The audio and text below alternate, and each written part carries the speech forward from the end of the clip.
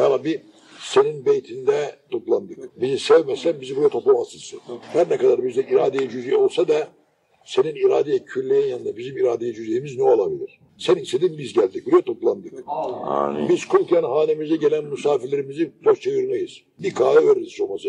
Ya iki tane zeytin. E biz senin misafir olarak gelmişiz. Bizi camide boş çevireceksin ya Rabbi. Affet ya Rabbi. Affet edersin. keremet ya Rabbi. Kerem edersin. Amin. Fatiha.